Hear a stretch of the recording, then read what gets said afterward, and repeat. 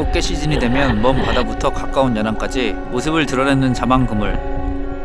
한번 엉키면 풀기가 쉽지 않은 그물이기 때문에 수심이 있는 곳에서 만나면 정말 위험합니다. 다이버 및 해루질러, 해녀, 해남 분들 모두 조심하세요.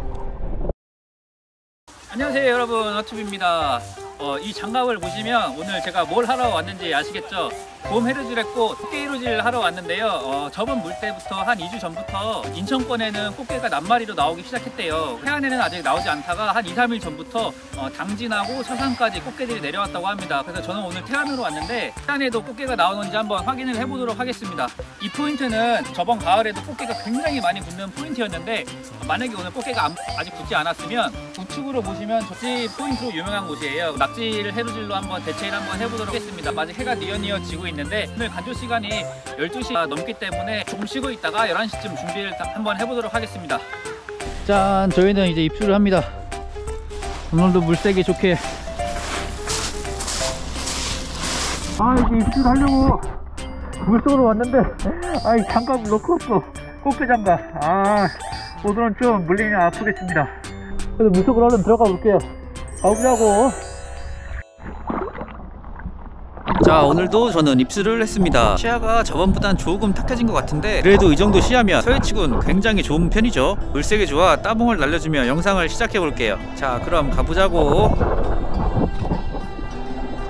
그런데 들어오자마자 수심이 1m밖에 안 되는 곳에서 다이버들에게 정말 위험한 그물이 나타납니다. 이 위험한 그물은 자망이라는 그물인데 양쪽에 부표를 띄어 수심 아래나 중층 또는 상단을 지나는 물고기들을 지나가다 걸리게 하는 방법의 어업 방식입니다. 꽃게의 특성상 모래사장 위를 걸어다니기 때문에 꽃게 시즌이 되면 자망이 먼 바다부터 가까운 연안까지 굉장히 많이 설치가 되는데요. 우리 해루질 하는 사람들뿐만 아니라 해녀, 해남 분들에게도 정말 정말 위험한 그물입니다. 제가 가을 꽃게 시즌에 이 포인트를 왔었으니까 이 자망은 최근에 설치 된 걸로 보입니다. 꽃게가 들어오는 포인트에서는 언제 이 위험한 자망 만나게 될지 모르니 수심이 있는 곳에서는 항상 전방을 잘 보면서 다이빙을 해야 합니다. 그물 자체가 풀기 쉬운 그물이 아니라 한번 얽히면 정말 풀기 어려운 그물을 사용하기 때문에 walking skin 상관없이 모두 조심해서 물질을 즐기시길 바랍니다. 위험한 자망 그물을 넘어 수심이 좀 있는 곳으로 오니 바로 밑으로 간자미가 한 마리 반겨주네요. 심호흡을 한 후 바로 잠수를 한번 해봅니다.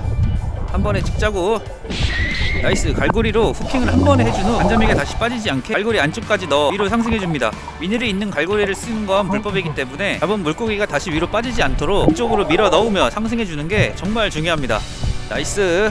얘는 집에 가서 맛있는 조림으로 먹어야겠습니다 들어오자마자 위험한 자망 그물과 맛있는 간자미를 한 마리씩 잡고 아, 오늘 운이 좋으려나 안 좋으려나 생각하며 모래사장을 끝없이 finning을 하며 돌아다녀봤는데 꽃게가 정말 한 마리도 보이지 않더라고요. 작년 가을까지만 해도 꽃게가 정말 많이 붙는 포인트였는데 코빼기도 보이지 않습니다. 더 이상 꽃게를 찾으러 모래사장만 다니는 건 오늘 왠지 빈손으로 돌아갈 것 같아 돌밭이 많은 포인트로 이동하기로 했습니다. 열심히 이동하는 찰나에 밑으로 내려가 잠영을 한번 해보는데 정말 정말 귀여운 오징어 한 마리가 있는 거예요. 이 오징어의 이름은 귀 오징어로 이 정도 크기가 다 큰 사이즈라고 합니다. 얼마나 귀여운지 이 상태로 바로 먹어도 된다고 하지만 먹을 게 뭐 있다고 잡습니까? 그냥 귀여워서 카메라에 한번 담아봤습니다.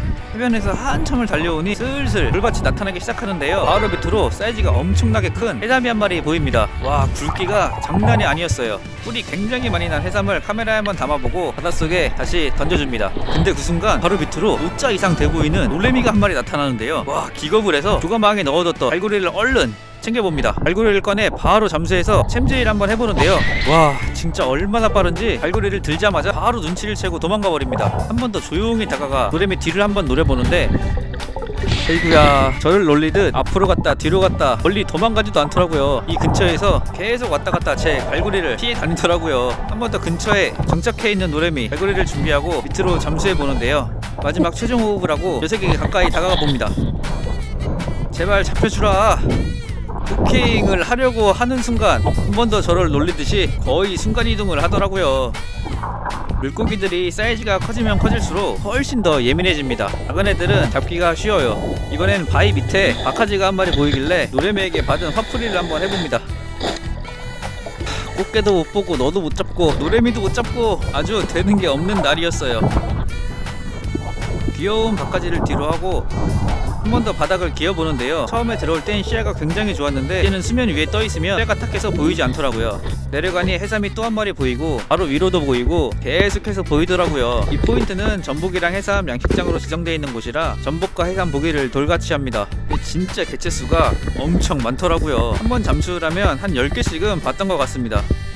아 낙지도 꽤 있을만한 지형인데 이상하게 낙지도 한 마리 보이지 않더라고요 계속해서 돌박 근처를 찾아다니는데 귀여운 쭈꾸미 한 마리가 반겨줍니다. 반갑게 인사를 한번 해주고 손가락으로 톡 뽑아 위로 올라오는데 9월 11일부터는 쭈꾸미 금먹이가 시작되기 때문에 채취를 할 수가 없어요. 금먹이 전에 아주 기분 좋게 쭈꾸미를 만났습니다. 한 마리를 잡고 올라와서 한 번 더 내려가 보는데 바로 옆으로 쭈꾸미가 또 있는 거예요. 발걸이를 톡톡 건드려 인사해주고 도망가는 쭈꾸미를 따라가 손으로 잡아 올라옵니다. 너가 뛰어봐야 쭈꾸미지. 여기 조그맣게 너네 형 있는데 같이 들어가자.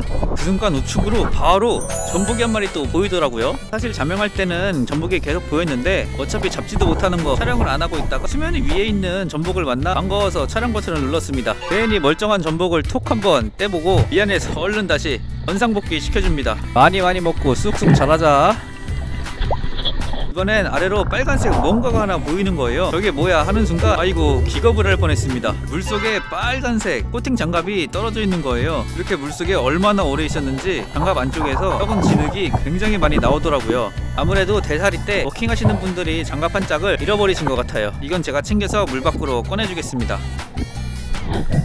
그리고 여긴 하나 더 동해처럼 사이즈가 정말 큰 성게들이 많이 있더라고요. 큼지막한 성게를 잡는 순간 바로 밑으로 귀여운 박하지가 인사해주네요. 와 성게 사이즈가 정말 굉장히 좋습니다.